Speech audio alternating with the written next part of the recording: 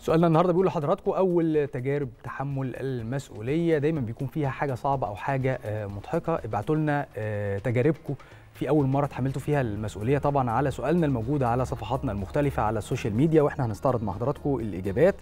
دلوقتي ناخد إجابات السيد هجرس بيقول عندما يتحمل المرء المسؤولية كاملة عن حياته يصبح حرا تماما فيتمكن من اتخاذ القرارات في حياته والقيام بالأمور التي يرغب بها أو عدم القيام بها.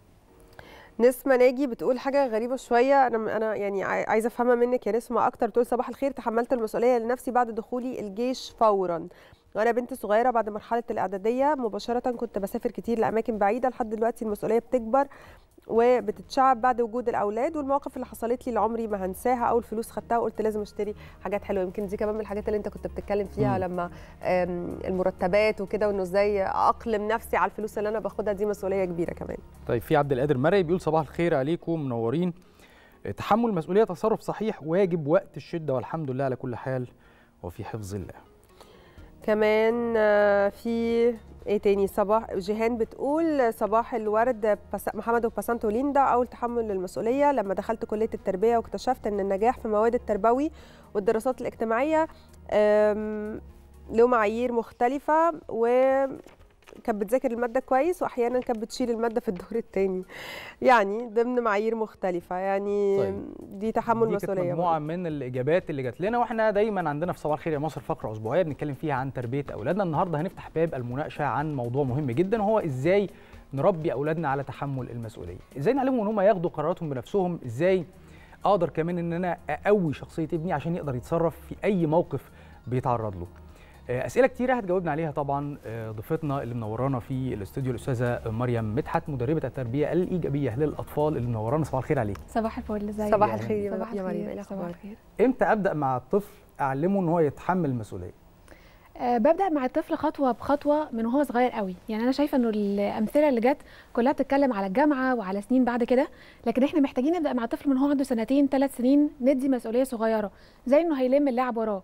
زي إنه هياخد مصروف معين ولو إحنا هنقف عند الكشك هقول له أنت هنجيب حاجات ب 7 جنيه هنجيب حاجات ب 10 جنيه أنت تقف تختار فلو أنت عايز الشوكولاته الغالية فانت محتاج تبقى عارف انت هتجيب حاجة واحدة بس. مم. لو هتقسم الفلوس دي على حاجات مختلفة انت هتبقى عارف انت ممكن تجيب حاجتين أو ثلاثة من سن صغير قوي من أول سن سنتين ثلاث سنين شوية بشوية بقدر أعلم فكرة المسؤولية خطوة بخطوة لغاية ما تكبر معاهم.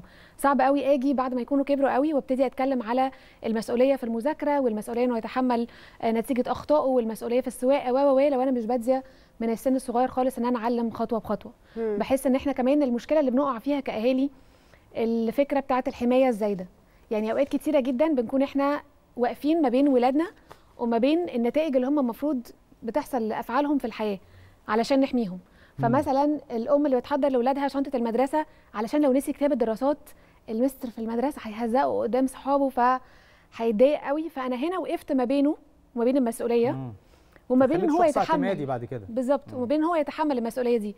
وبعد كده أجي بعد كده أقول أنت ليه ما بتحضرش شنطتك؟ أنت ليه ما بتعملش كده؟ لو أنا اتعودت أعمل له الحاجات دي أو إن أنا أبعت للمستر أقول له إنه هو معلش ما عملش الواجب النهارده عشان هو كان عيان قوي أنا هنا ما بعلموش يتحمل المسؤولية فأنا بحس إنه من أكتر الأخطاء اللي بنقع فيها بالذات كمجتمع شرقي شرقي والأمهات قلبها قوي على الولاد و و و فبنحب حب غلط كده بيقول إن إحنا عايزين نحميهم وعلشان ما يحصل لهمش وصاية حاجات زايدة، آه. وصاية زايدة بالظبط. فمش بيتعلموا المسؤولية في مم. الآخر طيب آه، الشخصية القوية عند الأولاد والبنات في السن الصغير إزاي كأم أو أب أنميها عندهم؟ حلو قوي أول حاجة أنا محتاجة إنه أنا أساعدهم ياخدوا قرارات من وهو صغيرين مم. يعني أنا. بنشوف كتير قوي ناس عندها 30 و40 سنة ولسه فكرة التردد فكرة جامدة قوي في حياتهم فغالبا ما ابتدوش ياخدوا اختيارات أو ياخدوا قرارات من هم صغيرين قوي من هم صغيرين قوي أنا بخليه يختار هتلبس ده ولا ده النهارده تحب النهارده هناكل الأكلة دي ولا هناكل الأكلة دي؟ فابتدي من الأول أدي اختيارات. الحاجة الثانية إن أنا أكون عارف إنه فكرة العند اللي كلنا بنشتكي منها كأمهات هي قوة شخصية. لو أنا عرفت أبص على فكرة العند إنه ده حد شخصيته قوية وأنا بس محتاجة أشتغل بأساليب مختلفة علشان أوصل للهدف اللي إحنا عايزينه بدل ما أكسر الحتة دي فيه يعني بدل ما أقول له لا انت هتسمع الكلام غصب عنك علشان أنا ماما علشان مش عارفة إيه علشان أنا قلت كده لو كسرت الحتة بتاعه العند من غير ما اعرف استخدمها صح. later on بيبقى صعب قوي ان أنا بعد كده أقول أنا عايزه يبقى شخصيته قوية لأن هي الشخصية القوية بتبان إزاي وإحنا صغيرين في العند أنا عايز اعمل حاجة ومصمم قوي ان أنا اعملها و determined ان هي تحصل ولكن بما اني صغير ومخي غير مكتمل النمو فباخد قرارات خاطئة. فبقول أنا عايزه اعمل حاجة والحاجة دي مثلا أنا عايزه أروح عند تيتا والساعة 11 بالليل فهي مخه مش جايب إنه مش الوقت المناسب أو مش هينفع نعمل كده دلوقتي ولكنه مصمم على الفكرة دي. فأنا بحيي أو بشجع فكرة التصميم والإرادة وابتدي أوضح له الصورة. بدل ما أقول لأ وما بينفعش وأنت غبي وأنت مش فاهم وأنت مش عارف حاجة بقول أنا فاهمه كويس قوي إنك نفسك تعمل كده. مستوعبه كويس قوي إنك نفسك تعمل كده. وأنا كمان أحب أروح عند تيتا هنقدر نعمل كده لما الساعة تكون بتشاور على عشرة. هنقدر نعمل كده أول ما الشمس تطلع بكرة الصبح. صعب قوي نروح للناس بالليل. فأنا مش بكسر الحتة بتاعه الشخصية والعند من هم صغيرين بالعكس بشتغل عليها وبقول إن هي كويسة وبس بحاول أحدد أحط له بعض الظروف بعض ال ال ال الوضوح في اللي هو مش شايفه علشان اللي هو نفسه فيه ده يبتدي يتحقق. عظيم. إحنا كنا عايزين برضو وكنا حريصين إن إحنا نعرف الآباء والأمهات بيربوا ولادهم إزاي عشان يخرجوه شخص اعتمادي أو إن هم يخرجوه شخص صاحب قرار وقادر إن هو ياخد القرار المناسب في الوقت المناسب. فعشان كده نزلنا الشارع وسألنا الأمهات والآباء إزاي هتسيب ابنك يعتمد على نفسه؟ هل بتتدخل في حياته الشخصية؟ تعالوا نسمع إجابات الناس.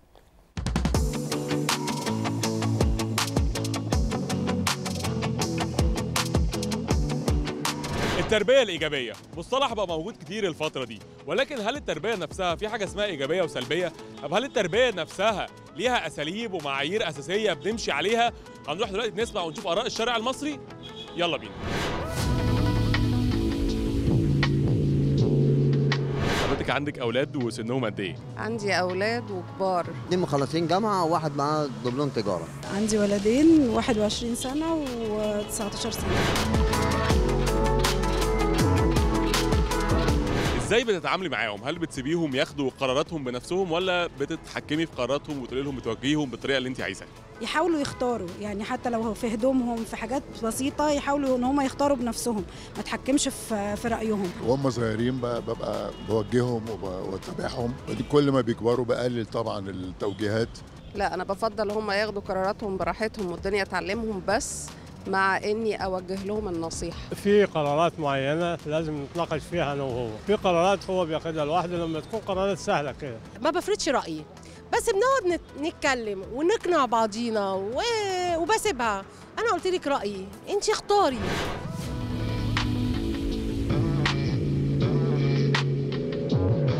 وهم صغيرين بقى إزاي علمتيهم ده؟ إزاي فهمتيهم ان قرارهم هو مسؤوليتهم وإزاي إن هم يتحملوا مسؤولية قرارهم؟ بالتدين يعني الالتزام بمواعيد الصلاة إنك تعرف ربنا الدين معاملة. لازم يكون في صلة حوار بين الأب وال- وأولاده والأم وأولادها.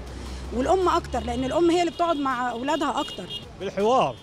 يعني يعني نيجي على النقاط اللي هي المهمة وأقول له دي مثلا لها سوء عمل ودي ما سوء عمل. إحنا طبعا إحنا ساعدناهم الأول. مثلا ما تعملش كده غلط ده كده صح ده أنا ما أعرفش إيه.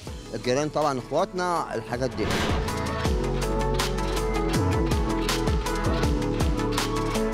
هل بتقدري تفرقي في المعاملة دي في الطريقة دي بين الولد والبنت؟ هل يعني هل الولد ليه طريقته والبنت ليه طريقتها؟ ما زلت تربيتي قديمة والولد عندي راجل فله قدسيته واحترامه.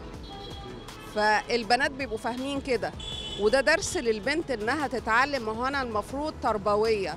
الأم مدرسة. بعلمها إنها تطلع إزاي تحترم جوزها. لو ما عرفتش إزاي إن أخوها ليها مكانة ليه مكانة أعلى هي مش هتعرف إن جوزها ليه مكانة أعلى. وبالتهيألي يبقى أنا كده حققت للمجتمع شيء كويس في الزمن اللي إحنا فيه. بص هي البنت دلوقتي زيها زي الولد. بس هي على زي ما بيقول لك آه ازرع النبتة كويس هتحصد حاجة كويسة.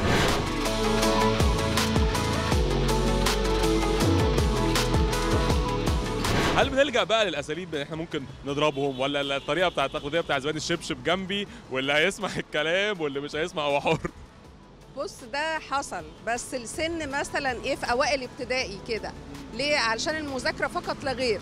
ده لازم الشبشب ده أكيد في أي أسرة مصرية لازم آه، في أول حاجة يعني. العنف دلوقتي مع الجيل دوت ما بينفعش.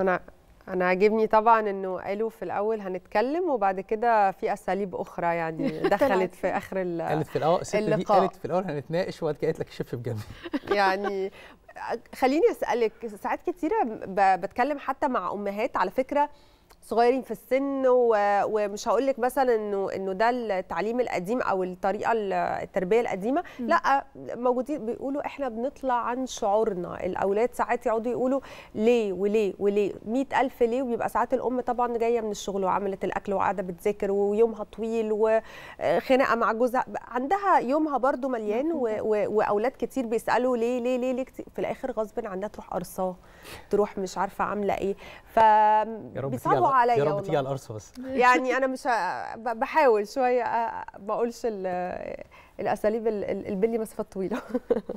فعايزة أعرف ال ال ال ساعتها يعني الأمهات اللي بتوصل للمرحلة دي من الضغط النفسي انت ممكن بتتكلمي معاهم إزاي عشان يهدوا ال ال النرفزة دي؟ عشان كده لما بنيجي دايما نتكلم في ورش بنتكلم على أهمية إن أنا آخد بالي من نفسي وأهمية ال self care أهمية إن أنا أكون عارفة إيه الحاجات اللي بتهديني وإمتى بوصل لآخر درجة من العصبية لدرجة إن أنا ما ببقاش عارفة أ control بعد كده التصرفات اللي بتخرج مني.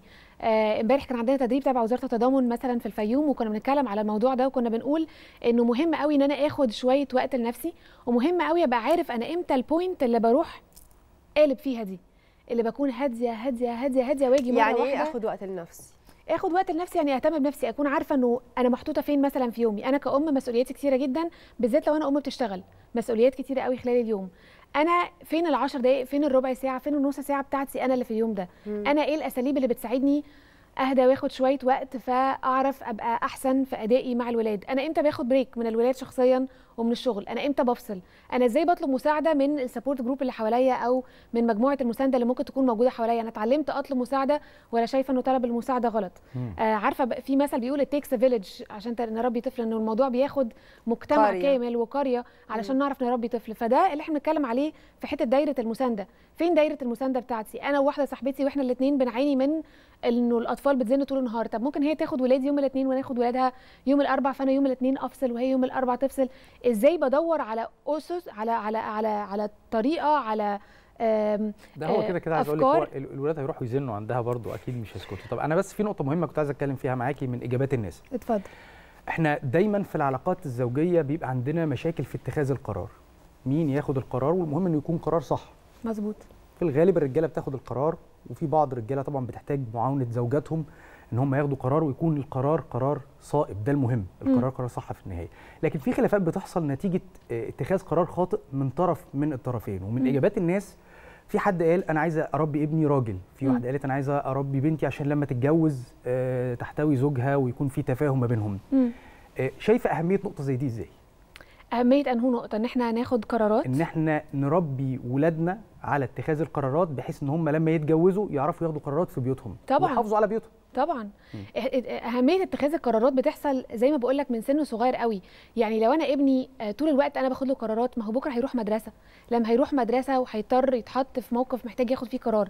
أنا اللي محتاجة أكون مساعدة ومساندة في الحتة دي وأنا اللي محتاجة أكون كمان بقدم القدوة في ده. يعني أنا بقدم القدوة في فكرة المسؤولية بمعنى إن أنا أقول مثلا النهارده أنا على فكرة النهارده ماليش مزاج خالص أروح الشغل.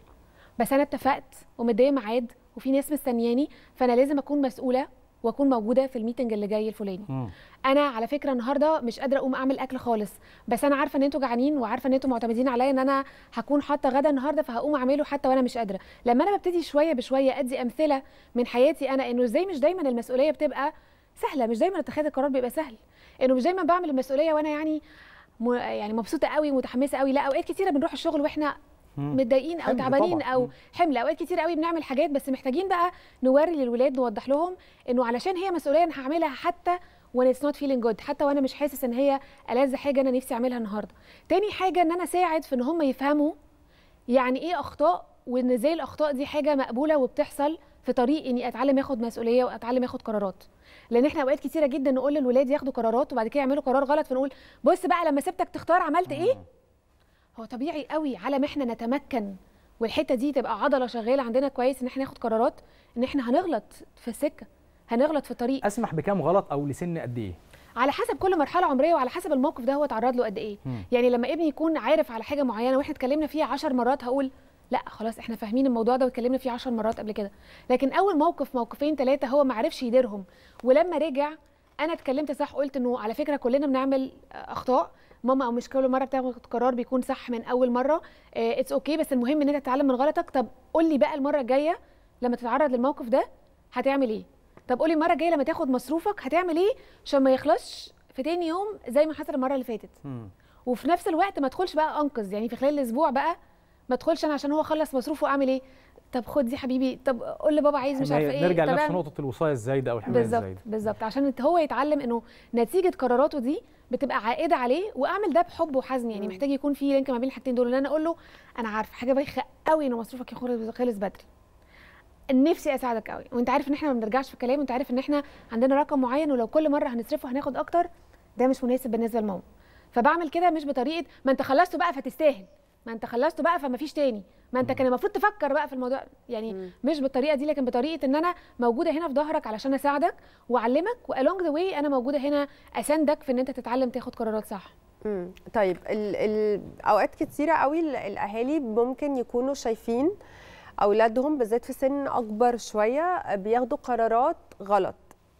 مهم إن إحنا نديهم المساحة بتاعتهم إن هم ياخدوا قرارات بنفسهم لكن إزاي أقدر إن أنا أتدخل بطريقة ما تكونش مباشرة آه، إن أنا أخد لهم القرار لكن إن أنا أساعدهم في اتخاذ القرار الصح بالذات لو أنا شايفاه هي هي يعني هنحرف عن المسار اللي أنا شايفه صح. مفهوم. أنا رأيي إنه في ثلاث نقط بقى للحتة دي. النقطة الأولانية إن أنا اكد شعورهم. وأقول لهم إن أنا معاهم. يعني لازم في أول حتة أقول أنا عارفة إن القرار ده صعب. يعني أوقات كتيرة جدا نلاقي أمهات مثلا في دخول الجامعات بتوع الولاد وهم بيختاروا جامعات أو بتاع. أنت يعني خلاص آخر الدنيا ما كل أصحابك عرفوا يختاروا أنت ليه مش عارفة تختاري؟ أنا عايزة أتجنب الأسلوب ده نهائي أنا عايزة أقول أنا متفهمة أنا عارفة إنه ده مش قرار سهل بالنسبة لك. أو أنا عارفة إنه مشاعرك رايحة ناحية الولد ده.